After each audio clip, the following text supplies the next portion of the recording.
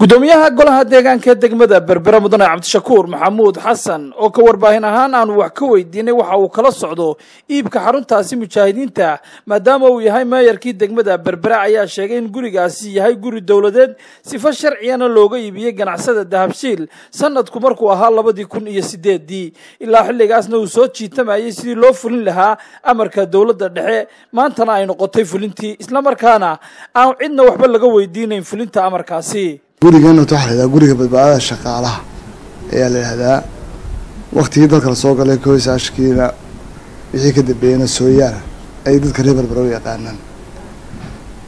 Gurigan labadii kun iyo sideedii labadii kun iyo sideedii ayaa maamulkii halkan gobolkan saaxiil xukumayey ee ahaa maayarkii iyo borosaabkii iyo iyo maamulkii maarayihii dekeda iyo dhammaan maamulkii gobolka saaxiil ee degmihii gobolba ahaa waxa ay u tegeen ninka lahaa dahabshiil waxaana u bandhigeen inay inay guriga dowladdu leedahay uu ka iibsado markii islaaf garteen inuu ka iibsado sifi sharci bay mareen mudane madaxweynihii hore daahir yaalla kaahin ayay u gudbiyeen qoraal.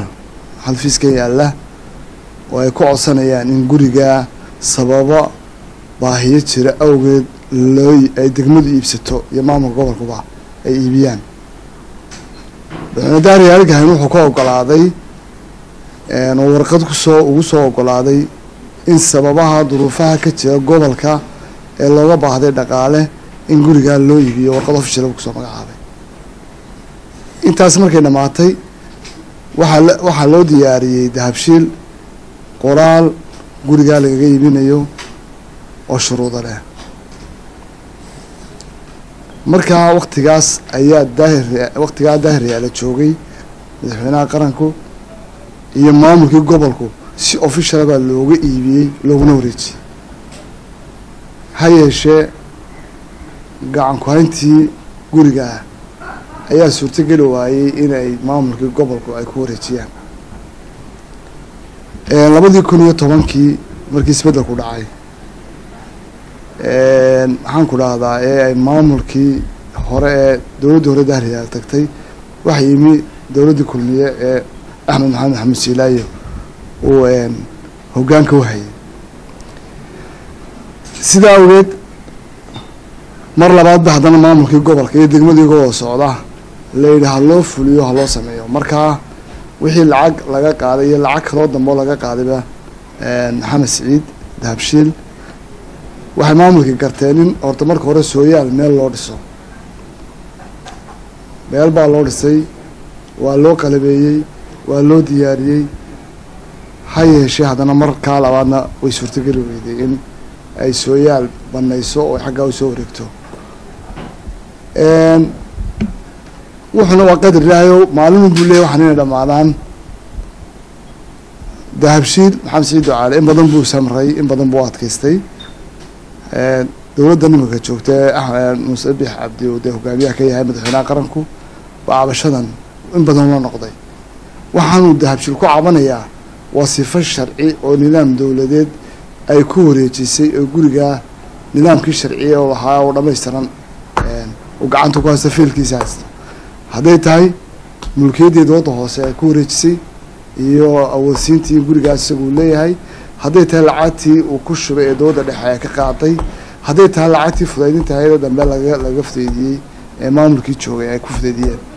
Sidaa awgeed inagoo u naqaano dhaqanka madaxweynaha hadda jooga mudan muse biix cabdi jecel yahay mar walba inaan muwaadiniintu aanay ku dulmanaanin maamulkiisa hoostiisa wuxuu amar ku bixiyey in gurigaa loo baneeyo.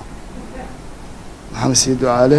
Lagu wareejiyo dahabshiil sifo sharci markaan aragnay inaan wax dhibaato ka haystaa cid haysato de kullidii oo ku haysataa aanay jirin marka laga reebo jimciyadda sooyaal sidaa awgeed ka maamul ahaan gobol iyo degma ahaanba waxaan la kulannay maamulkii sooyaal wakti baanu siinay waanu sheegnay waraaqihii madaxweynahaan tusnay waraaqihii maamulku aan ka diyaarinay baanu tusnay.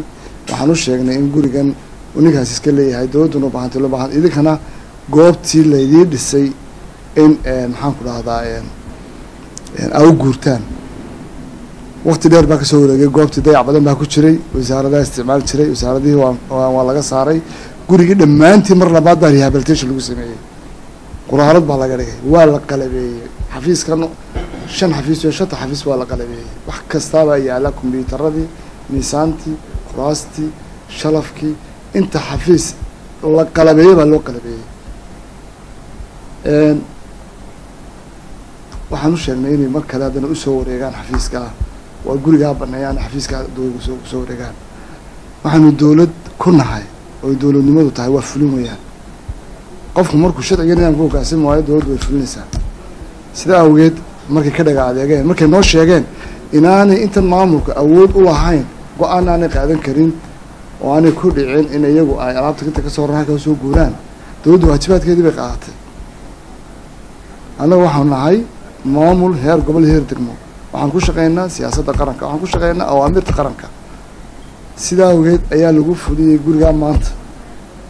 Waxaana loo wadaa oo loo banaynayaa mulkiilaha sharciga ah ee dowladdu ay mulkisiisay guriga. Cid shaksiya oo hebel la yidhaahdo oo wax ku leh oo wax ku haysatana annagu maana arag. Maxamed cabdilaahi soo fadhiistay star t v berbera.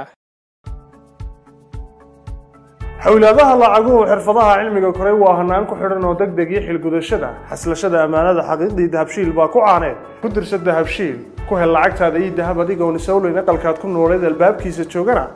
Aayar fariinta lacagtaada ka eego mobilkaaga somtel baan xisaabta furan iyo xirfadaha wax soo saar xanaankii bulshada xeerkuna islaam yuhu maanta kuu xasiliyee dhiga lacagtaada dahabshiil bank international. Ka furo dahabshiil bank international akoonnada kale ah caran account saving account iyo investment account